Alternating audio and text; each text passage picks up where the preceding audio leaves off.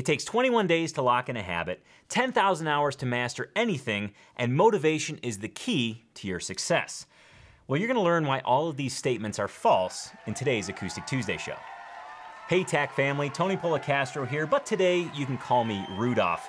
Welcome to episode 176 of the Acoustic Tuesday Show. This show is designed to bring fun, focus, and progress to your guitar journey through my weekly Guitar Geek list, plus success stories from your fellow TAC members. In fact, today you're going to meet Guitar Geek TJ from Colorado, who picked up the guitar 20 years ago and didn't play all that much throughout those 20 years. But now he's playing regularly and experiencing a ton of progress, doing things that he never thought he would do. You're going to learn about TJ from Colorado here in a moment, plus you're going to get some acoustic guitar news you can use, including some resonator technology that's, well, it's new to me, and it may be new to you as well, some wise words from one of my favorite fingerstyle guitar players, and a bunch more. But first, I want to talk about habit science and how it can impact your guitar journey. So let's go ahead and dig in. I want to kick this off by going back in time to when my guitar journey first started. And you need to know three things. Number one, I was extremely stubborn. Number two, I had a go big or go home attitude. And number three, if given the choice between easy and hard, generally speaking, I would do things the hard way. Until I learned the five things I'm going to share with you today. Yes, the five things I'm going to share with you today are rooted in behavior and habit science, and they will make an enormous impact on your guitar journey and how you approach the guitar in general. So let's go ahead and dig in. Now, I'll be referencing five different books, and I strongly recommend that you check these books out at your leisure. They contain a wealth of information that has huge implications on your guitar journey, but also just regular life. And I think these books are uh, they're on my top recommendations list. Let's just put it that way. They're on my top recommendations list for non-guitar books that will have a huge impact on your guitar journey. That's kind of a weird title, but we're going to go with it. Uh, now, I want to dig in here, but I also want to mention this. The concepts that I'm going to discuss today, I'm going to very briefly uh, kind of go through. If you want to do a deep dive into these concepts and how they truly relate to your guitar journey, there's a workshop at tonypolecastro.com. That's my name.com. Go ahead and go there, and there's about a 45 minute web class where I apply these concepts directly to your guitar journey. And I think you'll get a kick out of it, especially if you resonate with any of the information I'm about to share with you. So let's go ahead and dig in. The first uh, habit science, uh, the first habit science concept that I want to discuss is habit formation. The common myth is that it takes 21 days to lock in a habit. That's actually not true at all, and science backs it. BJ Fogg, PhD, and he actually runs the behavior science lab at Stanford, found that it's not an amount of days that locks in a habit, it's emotions that lock in a habit. How something makes you feel makes you more likely to do it again. If you feel good doing something, you're gonna keep doing it. So how do we apply this to our guitar journey? Well, BJ Fogg is the author of Tiny Habits, a book that I strongly, strongly recommend. And habit formation really is the tiniest step you can make to feel good to lock in that thing that you want to do over and over again. And for us, that's of course guitar playing. Now, there are three steps in creating a habit, and you can remember them relatively easy uh, A, B, C. You have to define an anchor moment, something that you do day in and day out that you don't think about, but you can attach another behavior to. Uh, B is behavior. What's the new behavior you want to do? For us, it's playing guitar, and it has to be tiny, the smallest possible thing. I say play for 10 minutes a day, but if you want to make it even tinier, say play one chord a day. So you have your anchor moment, you have the behavior you want to do, and then your celebration. This is the feel good thing that locks in your habit. Now, I want to move to a TED Talk by BJ Fogg here that pretty much sums up the tiny habits impact. Now, he's talking about health here, but if you replace the word health with guitar, I think you'll find that it applies pretty significantly to our guitar journeys. Let's check it out. Now, when we look at health outcomes, bullseye, what do we want to do? Well, things like lose weight, manage stress, and so on. But if you design for the outcomes, you're designing at the wrong place. You need to design for the behaviors that lead to the outcome. And if you take an issue like weight loss, there are many, many behaviors that can contribute to that outcome stress reduction, eating better, and so on. And I would propose that most of the behaviors that we need to do are habits. So, of the 15 ways behaviors can change, the one that matters most to long term health are habits. And as we create what I call these tiny habits, and we can't do it all at once, little by little, we will then approach this health outcome in a very reliable way, in a way that doesn't regress, in a way that doesn't make you, oh, I give up, now I'm just going to go back to how I was. The next behavior concept I want to discuss is that motivation is BS. And Mel Robbins discusses this in her book, Five Minute Rule. This is a fantastic book. It should definitely be on your reading list because it applies to your guitar journey, but it also just applies to life in general. Now, motivation is great when you actually have it but motivation ebbs and flows. So you need to design your guitar routine so that you can complete your playing session on your most unmotivated day hence making it very small, which is a reference to BJ Fogg, who we just discussed, and his book Tiny Habits. See, all these concepts are gonna all these concepts are gonna start connecting. But the whole notion with motivation is that as I mentioned, it ebbs and flows. And our brain is actually trying to protect us. We don't want to do things that make us uncomfortable. In fact, Mel Robbins discusses this with Tom Bilyeu in a great interview on Tom's Impact Theory podcast. Let's check it out. You have these incredible ideas, and what you think is missing is motivation. Mm. And that's not true.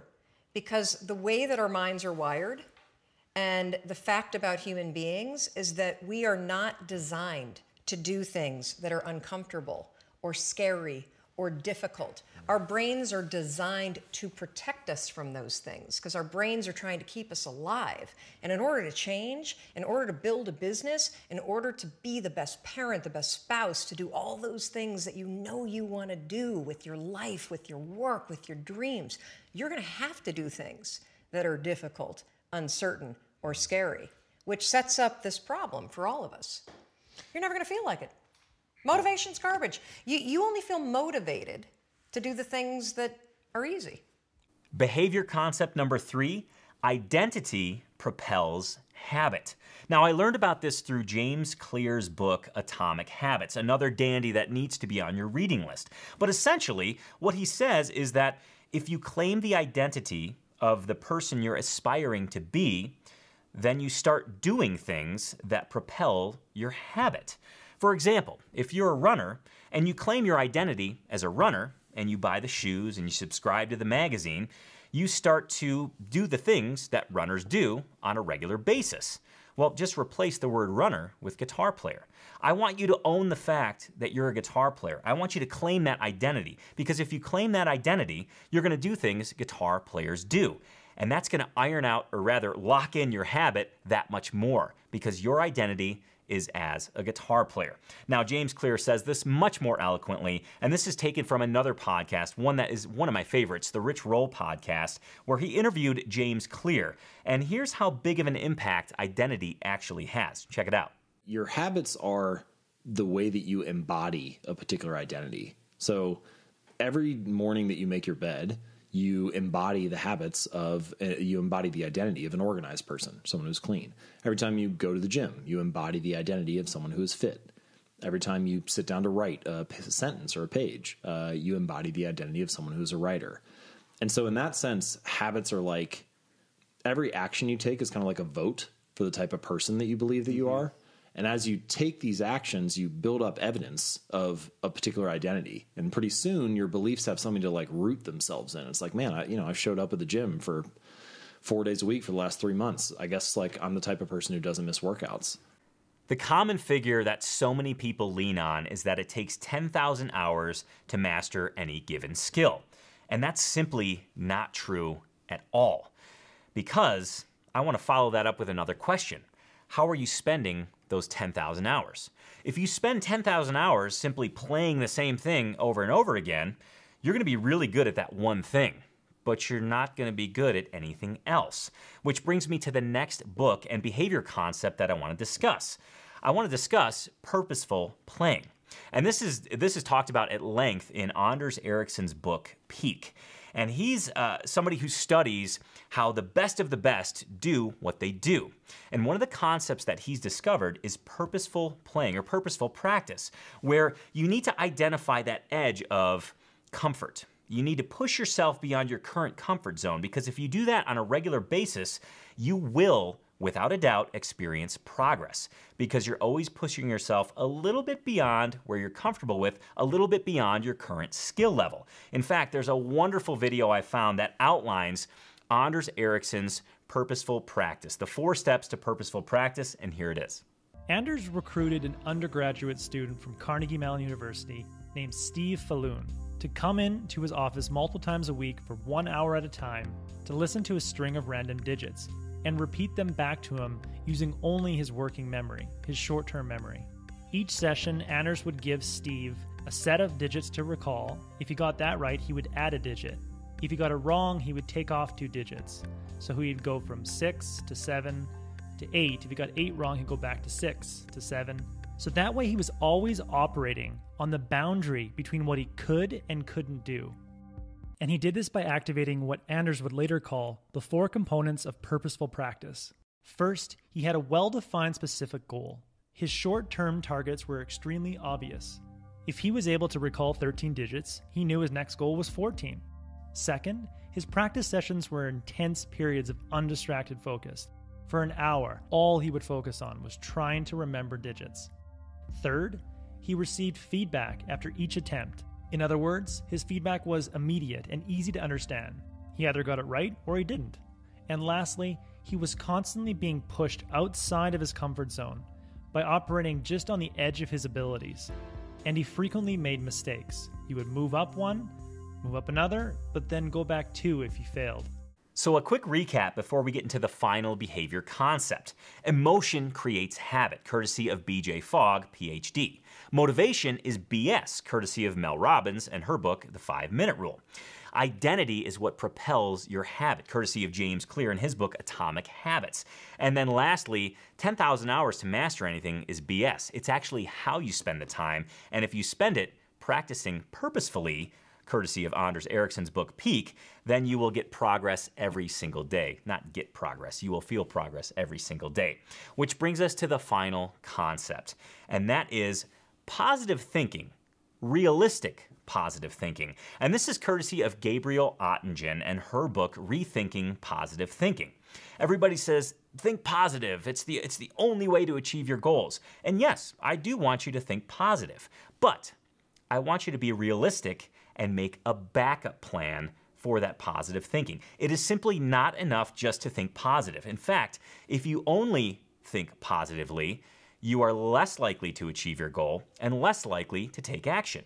Whereas, according to Gabriel Oettingen, if you take into account things that will get in your way via her outline or her acronym WOOP, you have a wish, you have a desired outcome, you take into account obstacles and you make a plan around those obstacles, you are much more likely to achieve your goal. Let's take a look and see how WOOP actually plays out and the science behind it. Here it is. The first step of WOOP is really letting your mind go with a wish of what you want for the future, and then scaling that wish back to a feasible action that you could take today to move closer to your ultimate vision. If you have a health goal, it could be going for a run after work or eating one serving of vegetables with every meal. Outcome means focusing on the best possible benefit that you expect to experience after completing the intended action. This could be balanced or energized or self confident.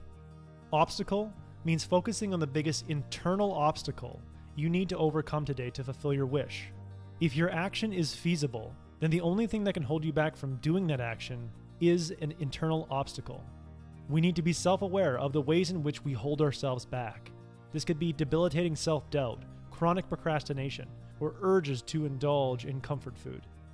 And then finally, plan, meaning focusing on when and where you expect to encounter your internal obstacle by writing out an if then action plan to deal with that internal obstacle. For example, if I come home tired from work, then I will put on my running shoes and walk outside. So there you have it, five behavior concepts that will impact your guitar journey in a major way. Why? Because your guitar routine is a habit. And if you leverage these scientific principles to make sure that you feel progress every single day that you play, you're gonna be sitting pretty. Now, as I mentioned, these principles alone by themselves have a huge impact on life in general. However, if you actually apply them to your guitar journey, it's pretty darn incredible. And I think you'll notice that they dovetail right into your guitar routine. But if you want to find out more on how they specifically dovetail into your guitar routine, again, make sure to go to tonypolecastro.com. There's a 45 minute web class there that I think you'll really get a kick out of, especially if you dig this kind of stuff, leveraging scientific principles to actually get the most out of the time you spend with your guitar. Don't be stubborn. Don't have this go big or go home attitude. And please, please, please don't take the hard way like I did when I first started. In fact, if I knew about this stuff when I first started, I would have saved myself a ton of time. It took me reading, well, these five books. And if you're wondering about the five books, let me go ahead and recap them right now. And this is in order of I guess, importance in my mind, uh, or maybe Im- impact, the impact that they've had on me. First is BJ Fogg's Tiny Habits. Fantastic book, one that should be at the top of your list. The next is Mel Robbins' Five Minute Rule. Then we have James Clear's Atomic Habits. We have Anders Ericsson's Peak. And then we have Gabriele Oettingen's Rethinking Positive Thinking. That's if you want to do a deep dive on any of these concepts, especially if you're a geek like me. I think you'll really dig them. Now, this brings me to a question that I have for you. Of the concepts I discussed today, which one resonates with you the most? Is it the identity thing? Is it making your habit tiny? Is it uh, creating a backup plan for when life inevitably throws you a curveball? Which concept resonated with you? Go ahead and let me know in the comments below and make sure to tell me why as well. Now let's go ahead and shift focus to a member of the Tony's Acoustic Challenge family. This is TJ from Colorado, and he just celebrated his second year at Tony's Acoustic Challenge. Here's the story of his guitar journey thus far. First question Where was I with guitar when I joined? I was almost 20 years past the last time I picked up a guitar to try to learn to play it. And I came here to TAC so I could learn enough that I didn't embarrass myself in the local neighborhood jams that my friends had encouraged me to try. I often wonder if they rethought that invitation back then. Question number two What are three things you can do now that you couldn't do before Tony's Acoustic Challenge? I play at virtual open mics as frequently as I can, so I'm learning a lot of songs. I have no fear of speaking in public, but singing and playing an instrument, that is intimidating. I've also started hosting a virtual open mic. Number two, I'm able to form, play reasonably competently, and move to the B minor chord and progeny in almost all the songs that call for it. I don't skip it and pretend it really isn't needed, and it was just put there to show me up for my lack of competence. And lastly, I have good virtual friends who regularly under-criticize my guitar playing. Before TAC, no one under-criticized my play. and the third and the third question here, complete this statement. It would be amazing if this time next year I can, one, say I actually attempted and then posted one or more of the improvs that happen every Wednesday. Two, be able to fingerpick most of the songs I am learning and be willing to post it or do it at a virtual open mic or a live open mic when they return. Number three, be able to determine the key for a song by ear so I can play along without a chord sheet or tab. And number four, have posted the 12 or more Woody Guthrie songs I pledged to learn in 2021. So fellow taxters can review and assist me in my growth. I have two down so far, way over yonder in a minor key, and I ain't got no home. Lastly, I want to say this. This journey is only expanding. TAC is like the universe. The more you see and do, the more there is to find and learn. Thank you so much. Well, thank you, TJ, for not only being an awesome guitar geek, but sharing your guitar journey and your intentions going forward. Congratulations on your two years at Tony's Acoustic Challenge. I only see greater things for your guitar future. It's so cool to see you at the virtual open mics and really kind of pushing yourself outside your comfort zone as we discussed earlier in today's show. How cool is that? I didn't even plan for that. But TJ's continually pushing himself out of his comfort zone and obviously reaping the benefits of progress, just like Anders Ericsson wrote about in his book. It's one of those moments where all the things connect. Okay, let's move on to a guitar guitarsenal from one of our very own Acoustic Tuesday viewers. This is Mike Augenstein from Reno, Nevada. And here's what's in his guitar guitarsenal. On the couch left to right, an Emerald X10, an Ovation T-Series, luthier Randy Allen Jumbo, a Takamine GJ72CE 12 string, a gold tone Beard square neck resonator, and I'm holding the one that really started it all. And this story is so cool, you gotta check this out. This is a 1971 Martin D28. I bought this guitar used in 1972 as a teenager, with lots of odd jobs, paper routes, etc., to get it out of layaway. It's been with me ever since. Even took it on my tour on a submarine in the Navy. The guitar is on its third set of tuners, Grover Goldwings this time, two neck resets, its third pickguard, and second set of frets. To say I wrote it like I stole it would be an understatement. It has been a constant companion, therapist, and wingman for a very long time. Mike, thank you so much for sharing your guitarsenal and also that incredible story that really does underscore how important guitars are to, well, our guitar journey, but just our life journey in general. And I think you summed it up right there, just saying it's been a constant companion, a therapist, and a wingman. So cool, and I can't thank you enough for sharing your guitarsenal.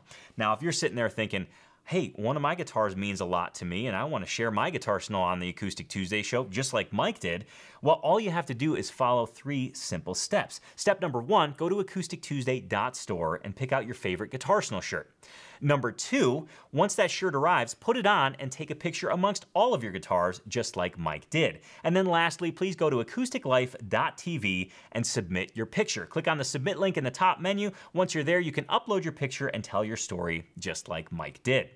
All right, let's press rewind on the VCR and go back to episode 174 of the Acoustic Tuesday show, where we talked about guitar tonal experiments. If you haven't checked out that episode yet, please do so. It was riddled with lots of cool guitar experiments you can do from the comfort of your own home. Plus, there was tons of awesome comments left. So let's go ahead and check some of those out right now. Our first comment comes from Acoustic Tuesday viewer, frequent Acoustic Tuesday viewer, and awesome songwriter Jess Jones, and he says this Speaking of hand pain, Tony, I remember you mentioning pain in your fretting thumb. I suffer the same pain from a car door as a kid.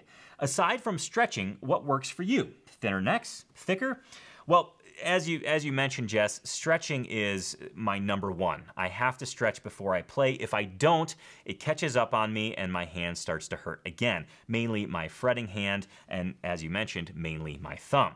But interestingly enough, what I find that works best for me, and this is just personal opinion, is a thicker neck.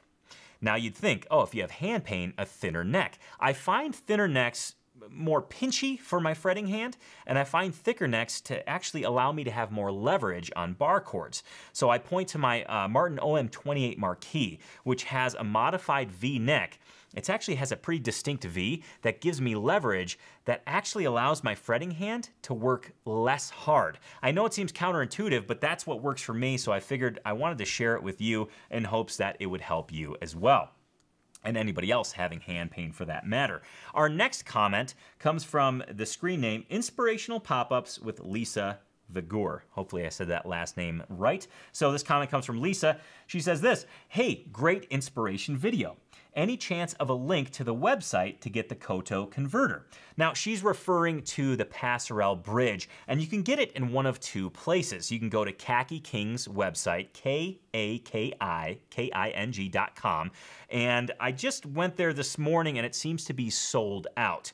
Uh, so there's another place you can find it, and it's by the luthier that actually designed it.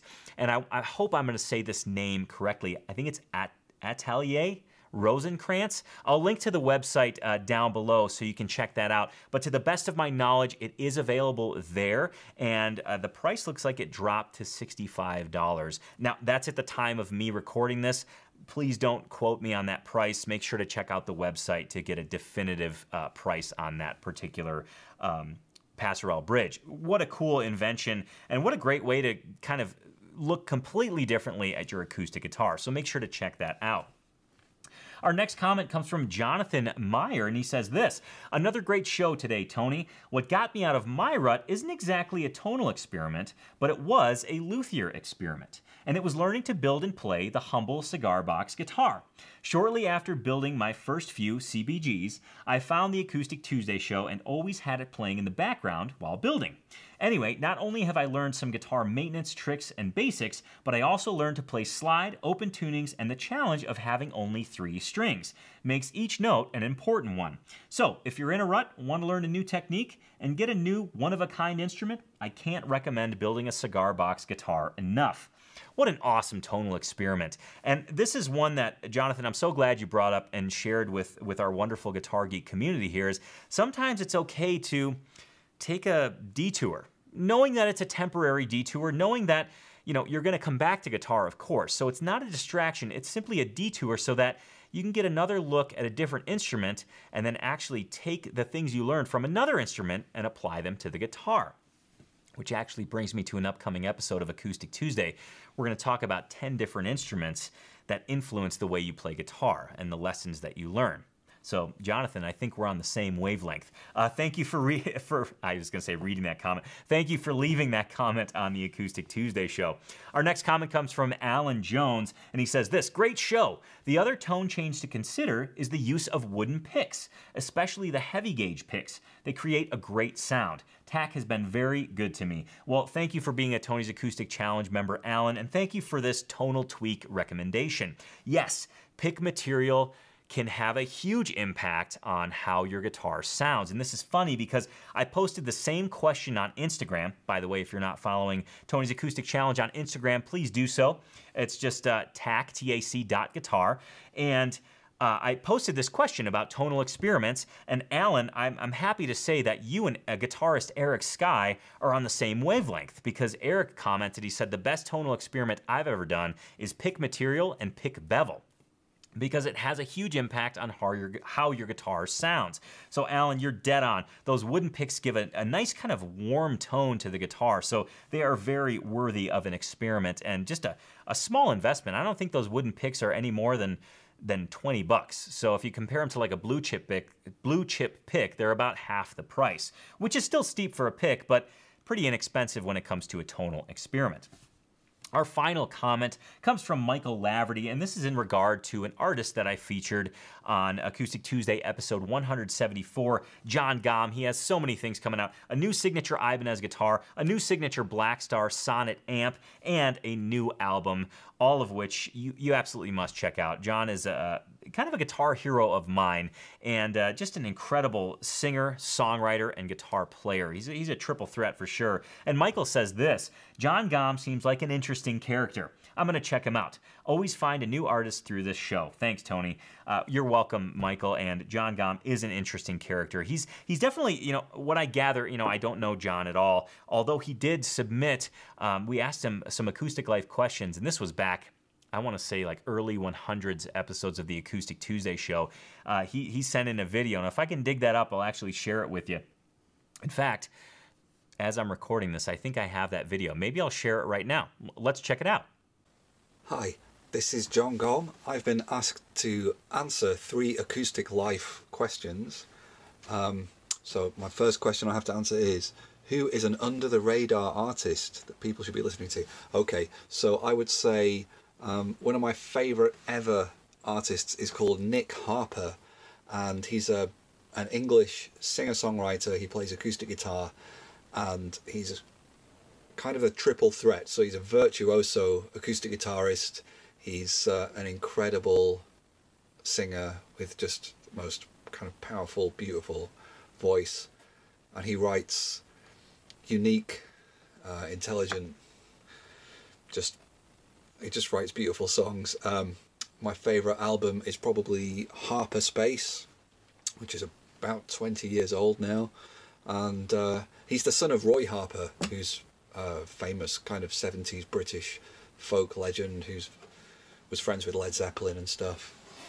Um, okay, out of all of your acoustic guitars, which one is your favourite? So um, this is Wilma.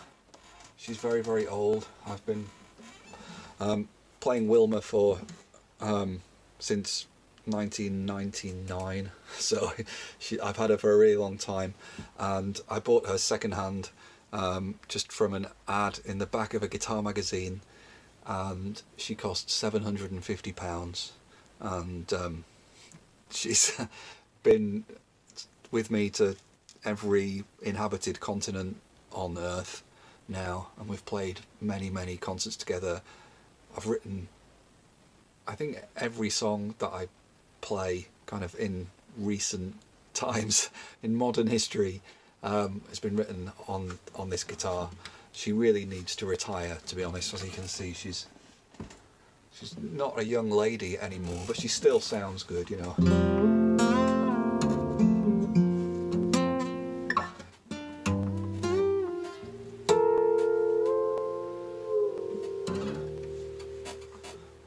To play like this. Okay, I'll put it down. Um, and what's the one piece of gear that has changed your acoustic life? Just Wilma, Wilma. But there's there's others. You know, the pickups inside here are really important. Um, but uh, one that's changed my life recently is uh, the new amplifier from Blackstar, the British uh, amplifier maker, because I actually was lucky enough to be able to help them design this amplifier. So it's called the Sonnet um, amp, and it's like this completely new way of making amplifiers for acoustic guitars. Anyway, that's the advertisement for that over. Um, okay, so thanks very much for listening to my, my music. Thanks very much um, to uh, Tony for playing my music. And apparently, I have to say, Guitar Geeks Unite. I have to accept that Guitar Geek is probably my strongest identity. So I can't deny it. Okay, cheers. So yes, indeed, Jon Gomm is an interesting character, but a, but a true creative and somebody that I uh, greatly admire. So make sure to check out his work. Uh, he's just a, an awesome addition to the Guitar Geek community. It is almost time to wrap up the show, but before I do so, I do have some acoustic guitar news you can use. Yes, it's part of my responsibility as a guitar geek to help you stay on the front lines of the acoustic guitar industry when it comes to news, innovation, and just cool things you need to know about. The first piece of news I have for you comes from Beard Guitars out in Maryland in conjunction with the company Hipshot.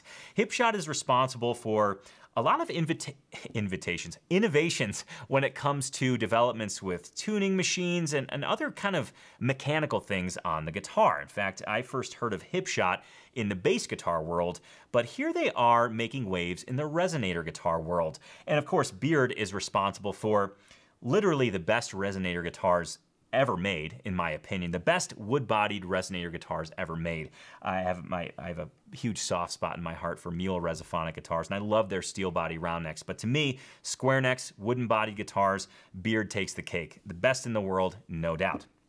Okay, Beard and Hipshot combined created this, this mechanism called the Hipshot double shot. And I have to say this, I was a little skeptical of this until I bit the bullet and got a guitar equipped with the Hipshot double shot. I actually just received it uh, last week, and big shout out to the folks in Texas at Guitar Sanctuary. Uh, they were a pleasure to deal with through the whole guitar buying process. But nonetheless, I got a guitar with a Hipshot double shot, and it allows you to play in two different tunings at the flip of a lever. You got to check this out. Here's a quick video. Hi, I'm Paul Beard, and today I'd like to show you a product from Hipshot. It's a tailpiece that I have installed on one of Jerry Douglas's Beard guitars.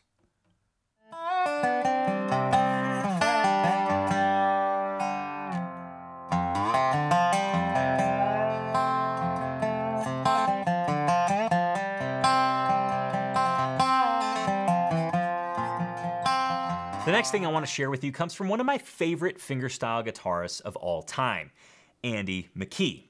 If you don't know him, just look up his song Drifting. Right when YouTube started, Andy McKee posted this song Drifting. It's a percussive, modern fingerstyle piece, and it got like a gazillion, cajillion views very early on in YouTube's history, which was a major deal. And I want to say this I think Andy McKee is one of the torchbearers of modern fingerstyle guitar. I don't think, I, I know he is.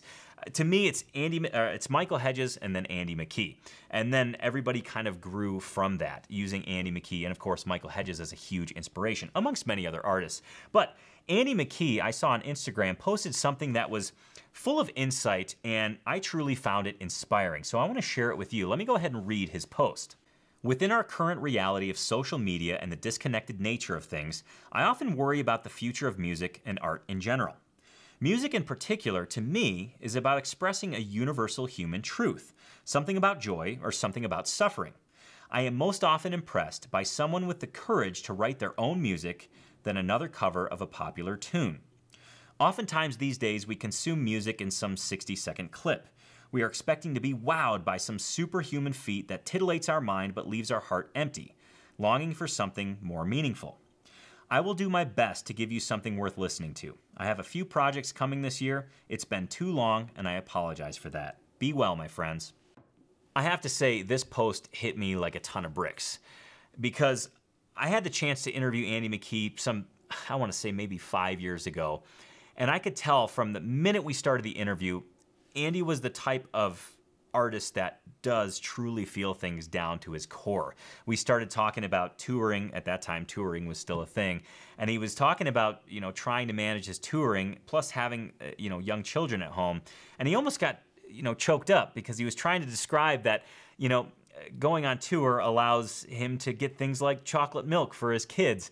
And it was just, it was really sweet. But I, I could tell at that moment that Andy is the type of artist that truly feels things. And I thought, you know, I, I think he summed things up quite well there. So uh, cheers to you, Andy. Uh, we as a Guitar Geek collective certainly look forward to whatever you have coming out this year, and, and we know for sure that is going to mean a whole lot.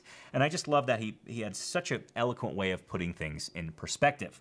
All right, what do I have next? I just lost myself in the beauty of that post. Uh, the next thing I have for you is an article that I just found from Acoustic Guitar Magazine, and they found um, this is a feature on Mark Stutman, and he is known as the Gibson guy. And this is an incredible story because Mark got into vintage Gibsons when vintage Gibsons weren't really a thing yet, and you could get them at a fairly decent price. Not only was he buying these vintage guitars, he was learning a ton about them, repairing them, restoring them, etc. So make sure to check out that article. I think you'll really, really dig it. Another piece of news for you involves a Guitar Geek friend of ours, an Acoustic Tuesday friend, an Acoustic Tuesday family member, and a hell of a guitar player at that, but also a hell of an, an a hell of an, an hell of an illustrator. Oh my gosh, that was very difficult for me. That was a difficult mountain for me to climb. A great guitar player and an awesome illustrator, Sean DeBurka. Sean DeBurka, uh, if you don't know about him, look up his music first and foremost, but also know that he is an incredible graphic designer. I'm not going to say illustrator again, I'm just going to say graphic designer. Well, Sean has been busy designing the Walnut Valley poster. Walnut Valley is an incredible acoustic based festival it's almost a mythical festival, and he's designed the poster for this year's Walnut Valley Festival, and he's done an incredible job. Just look at some of these images. Uh, Sean is just a, he's a top-notch dude, and as I mentioned, just an awesome graphic designer. So cheers to you, Sean. Great work on the poster, and, and awesome that you're involved in such an iconic festival. I have one more piece of news for you. Yes, indeed, uh, I, which is good because I'm not speaking very clearly today. I'm mashing words together and creating my own vocabulary. Uh, something I'm actually pretty darn good at. But the last piece of news comes from Sarah Watkins. You might know Sarah Watkins from the band I'm With Her, which is Sarah Jarosz and Aoife O'Donovan. You might know Sarah Watkins from Nickel Creek. You might know Sarah Watkins as a solo artist. Well, she has a new song out that's going to be featured, of course, on her new album. She has a new album coming out and she's featured a new song. Whatever order you put those in, that's what I meant. The new song is called Blue Shadows on the Trail, and it features none other than Nickel Creek. And it's from her new album that's going to be coming out March 26th called Under the Pepper Tree. It's going to be out at New West Records. Yes, you can pre-order it right now. And if you're asking Tony, did you pre-order it? You're darn right I did because I heard this song, Blue Shadows on the Trail, and I thought to myself, that's an album I'd like to have in my record collection. And if you're looking for a taste, let's go ahead and listen to a little snippet right now. You know, pretty soon a big yellow moon will light the way back to the one